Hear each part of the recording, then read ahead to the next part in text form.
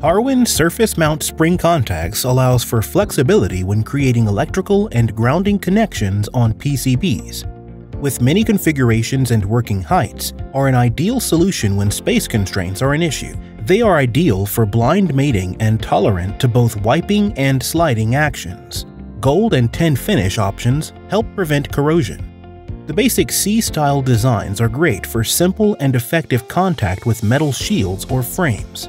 The extended C-style spring contacts feature an extended beam for lower spring forces and come in very small sizes, good for antenna contacts. Some versions of the extended C-style have a positive stop to prevent overstressing and permanent set. The multi-directional contact works in either vertical or horizontal compression, ideal for PCB edge connection to the chassis. The box-style spring contacts are designed to prevent snagging. The tip is protected to prevent hooking. All these contacts are provided on tape and reel for automated assembly and cost-effective production. You can use vacuum pick and place equipment to place the spring contacts on a PCB, straight from the tape and reel packaging.